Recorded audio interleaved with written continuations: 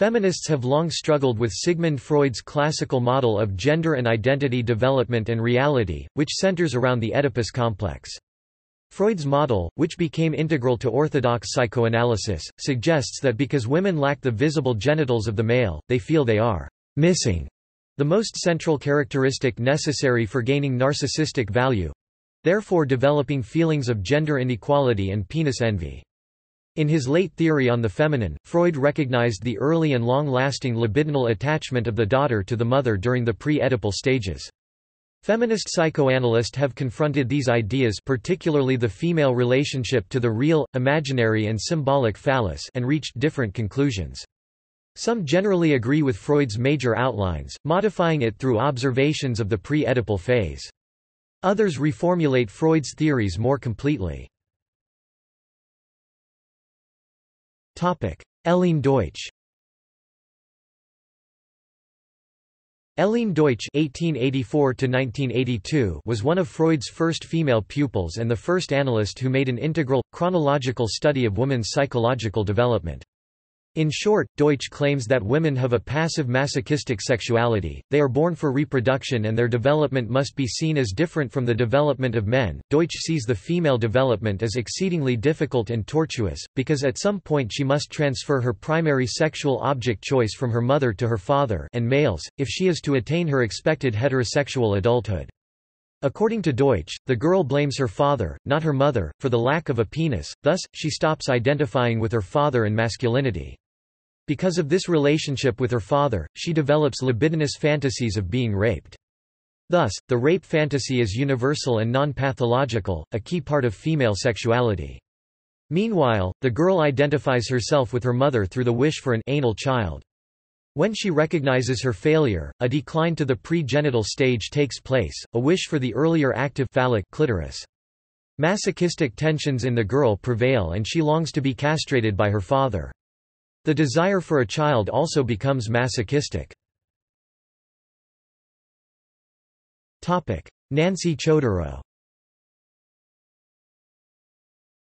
Nancy Chodorow noted that Freud believed that males possess physical superiority and that a woman's personality is inevitably determined by her lack of a penis.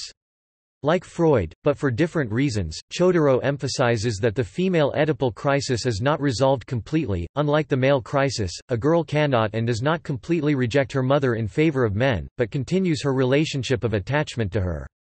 The strength and quality of her relationship with her father are completely dependent upon the strength and quality of her relationship with her mother.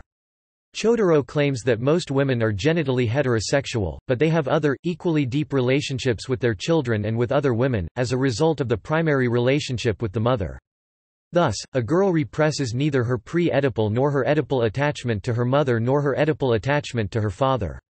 This means that she grows up with more ongoing preoccupation with internalized object relationships and with external relationships.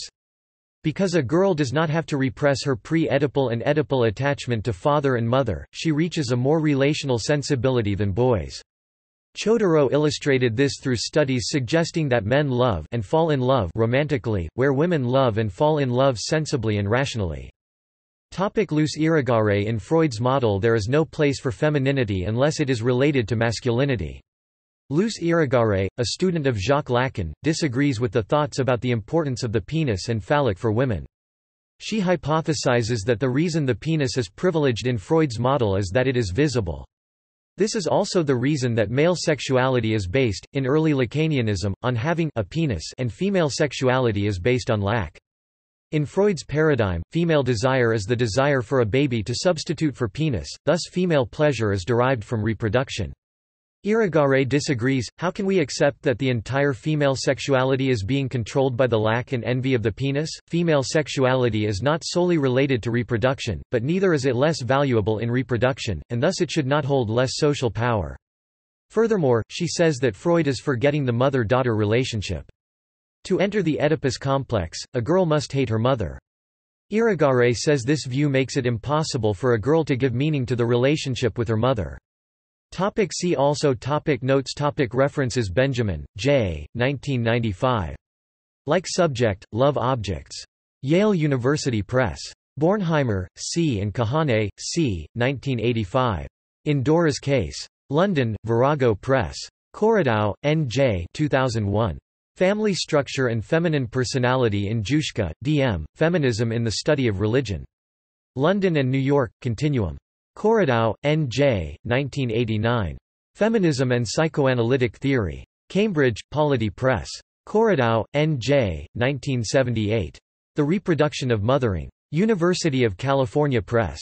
Fisher, A., Van Horn, W., Jans, J. 1983. Psychoanalyse en vrouwelijke seksualiteit.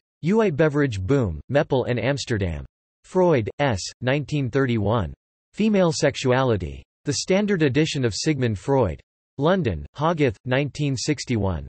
Horney, K., 1951. Neurosis and Human Growth. London, Routledge. Horney, K., 1922–37. Feminine Psychology. N.Y., Norton, 1967. Irigaray, L., 1984. Dit geslacht dat niet aan is. Translation of, Ce sex qui anine est pas un. Paris, Minuit. Irigaray, L., 1974. Speculum of the Other Woman, 1985. Cornell University Press. Irigaray, L., 2004. Key Writings. N.Y., Continuum. Irigaray, L., 1993. Sexes and Genealogies. Columbia University Press. Kristeva, J., 1982. The Powers of Horror. Columbia University Press. Lacan, J. 1973. Encore, on Feminine Sexuality. N.Y., Norton and Company, 1998.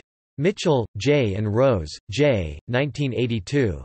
Jacques Lacan and the École Freudienne, Feminine Sexuality. N.Y., Pantheon. Parallax N. 8. Special issue on Julia Kristeva. Issue N. 8 Volume 4 3, Paris, B.J., 1994. Karen Horney. A Psychoanalyst's Search for Self-Understanding. New Haven and London, Yale University Press. Pollock, G., 2006. Beyond Oedipus. Feminist Thought, Psychoanalysis, and Mythical Figurations of the Feminine, in, Laughing with Medusa. E. Dees, Zajko, V. and N. Leonard, M., Oxford University Press. Riviere, J. Womanliness as Masquerade, International Journal of Psychoanalysis N.10, 1929.